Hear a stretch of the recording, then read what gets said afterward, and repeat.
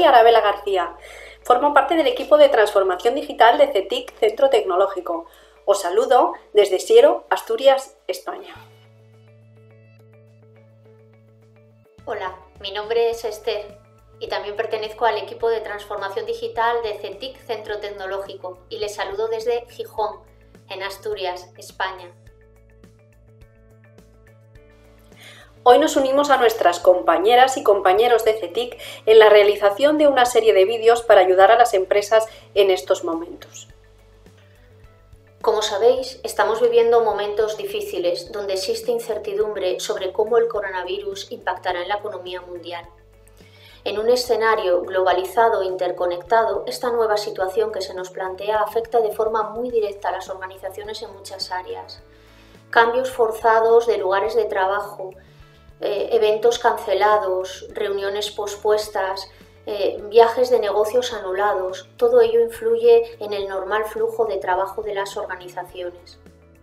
Sin embargo, esta emergencia global puede suponer una oportunidad para adoptar nuevas formas de trabajo, pasando de iniciativas muy puntuales como es el teletrabajo a la adopción de un verdadero modelo de trabajo deslocalizado.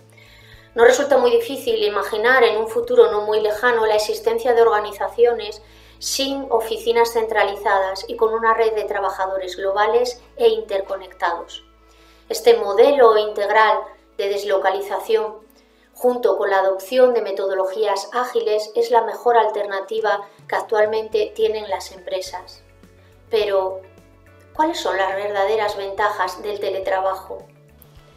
Por explicarlo con números te diré que el teletrabajo supone para las empresas el 60% de reducción de las bajas de ausentismo, el 56% de ahorro en comisiones de servicio, el 56% de crecimiento de producción y el 20% de reducción de rotación de empleados.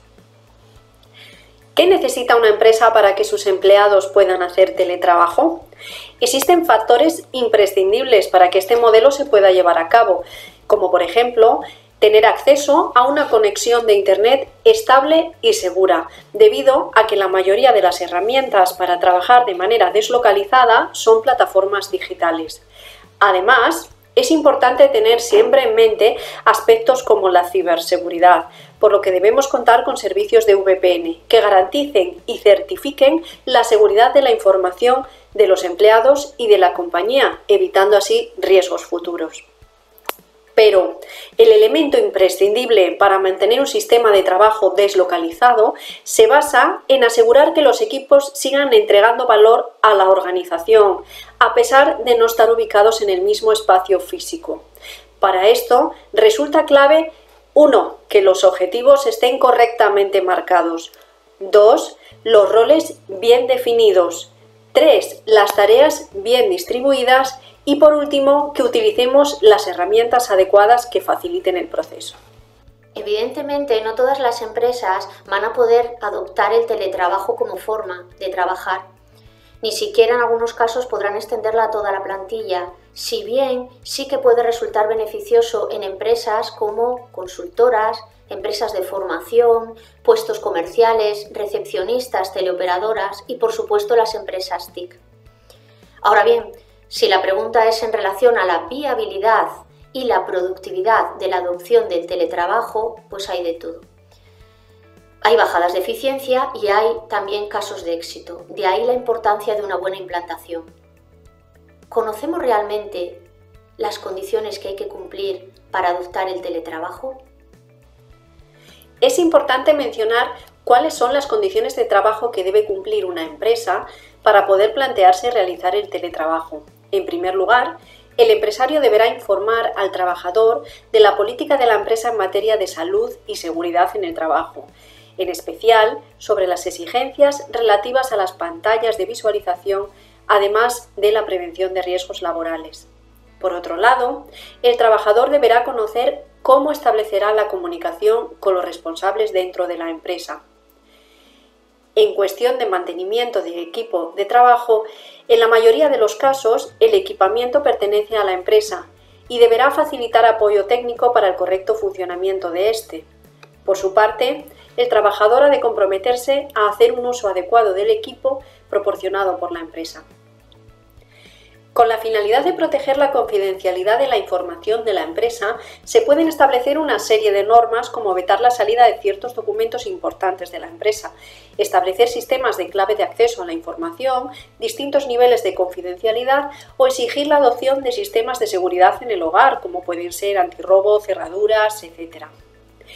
El cambio a la situación de teletrabajo puede hacer necesario también suscribir un seguro o revisar el contrato de seguro que tuviera el trabajador en su domicilio para ampliar la protección.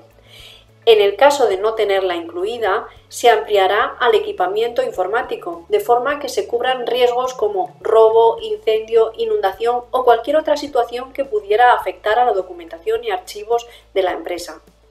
En este supuesto, será necesario determinar quién sufraga el gasto de la suscripción del seguro o la ampliación del existente.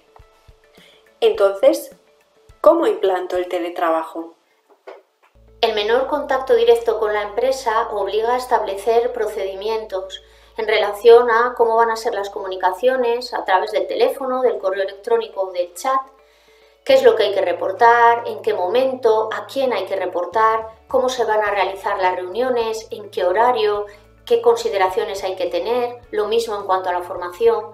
Por eso es importante que el personal esté dotado con móviles, portátiles, acceso a documentación, evitar el aislamiento entre los integrantes del equipo, estableciendo una serie de reuniones virtuales eh, con cierta periodicidad. Además, es también importante apoyarse en herramientas tecnológicas tipo Trello para controlar el avance de las actividades. Y por último, el cumplimiento de la legislación laboral en cuanto a la planificación de la jornada de trabajo, fichar al inicio y final de la jornada, así como establecer periodos de descanso. En cuanto a la dirección y control de la actividad laboral, esta se realizará de igual forma que cuando uno se encuentra en la empresa, teniendo en cuenta que eh, habrá que adaptarse a las nuevas circunstancias, pero siempre asegurándose que se cumple tanto la jornada laboral como las condiciones óptimas de seguridad higiene, etc. En este sentido, cabe señalar que la utilización de herramientas de control conlleva la información al trabajador de su uso, así como su consentimiento para no vulnerar la intimidad e inviolabilidad del domicilio y por supuesto se utilizarán durante la jornada laboral y siempre debe estar justificado. Los elementos clave que nos van a facilitar el teletrabajo se pueden clasificar en cuatro categorías. La primera de ellas es la gestión de equipo. Se trata de conocer la disponibilidad y gestionar el equipo de trabajo, asignarles tareas y intentar aumentar la productividad de todos los integrantes del equipo. La segunda gran categoría es la comunicación. Quizás es una de las categorías más importantes para mantener al equipo bien informado y coordinado, además de mantener las reuniones de trabajo con los clientes. La tercera categoría es la ejecución y seguimiento de tareas. Controlar el estado y el avance de las tareas, creación de documentos y presentaciones que puedan ser consultadas y editadas por todo el equipo de trabajo. Por último, la transmisión de conocimiento. Es necesario trabajar con repositorios para que toda la información quede archivada y sea accesible en todo momento por todo el personal de la empresa. Pues ya hemos visto las necesidades básicas de una empresa para implantar el teletrabajo. En la segunda parte del vídeo os daremos una serie de pautas muy sencillas para poder llevar a cabo reuniones virtuales eficaces, trucos para mejorar la concentración y la productividad y herramientas que faciliten el teletrabajo. Esperamos que este vídeo os haya sido útil y esperamos veros en el siguiente. Muchas gracias.